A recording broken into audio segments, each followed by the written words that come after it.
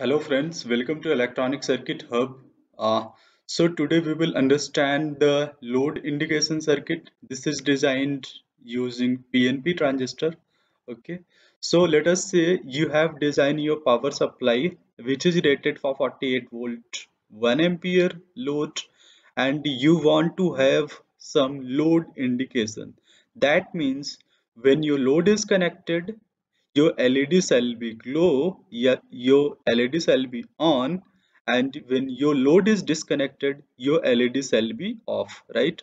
So this is basically a load indication circuit by using a simple simple PNP transistor and maybe you can use two diode or maybe you can use one diode, right? So this will both will work together. So uh, the objective of this circuit is to minimize the cost uh, by using the traditional op-amp based circuit. So this is very low cost solution here. So let us understand how this circuit works, right? So let us have you, you have some power supply uh, which is 48 volt, right? And this is your load R2 is your load that is 48 R. So when this load is connected to your power supply, this LED should glow and when your load is disconnected to the, your power supply, this LED shall be off. So let us understand how this circuit works. So your emitter is connected to the power source that is 48 volt. This is PNP transistor BC557 and this is the emitter this is collector is connected via a 4.7 k resistance along with led and this is the biasing of base right?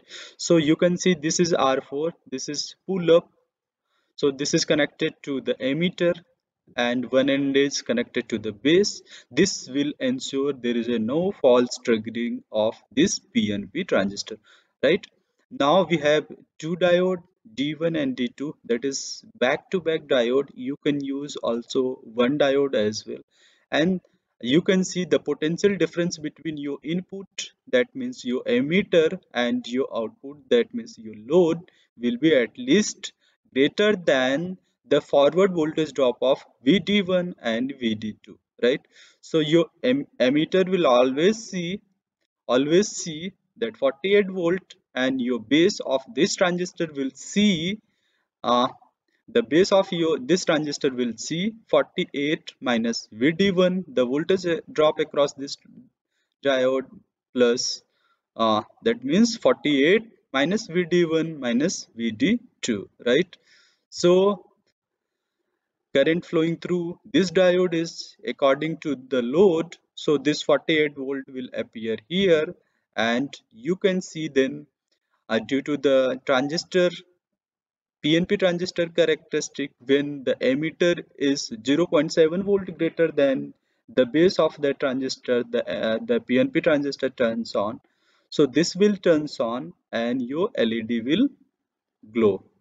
Okay? Your LED will glow. That means when your load is connected when your R2 is connected there is a LED glow and when your R2 is disconnected LED will be off right so let us now run the simulation and I will show you uh, whether this circuit works as a theoretical analysis right? So let us run the simulation.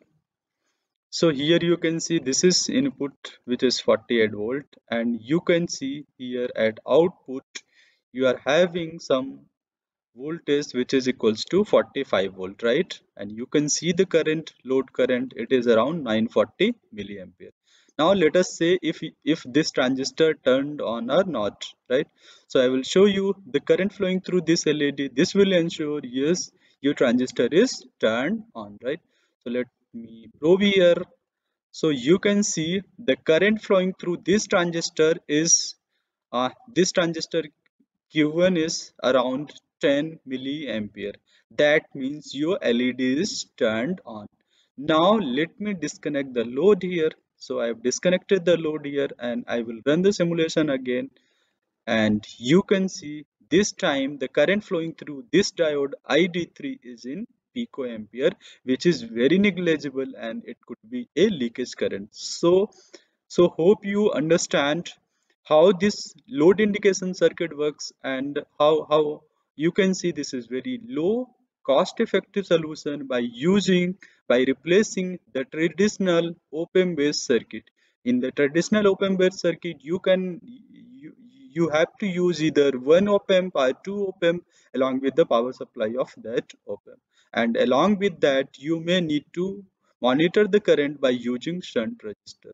So this is very simple circuit and very uh, cost effective if you have any question feel free to ask me in comment section. Thanks for watching this video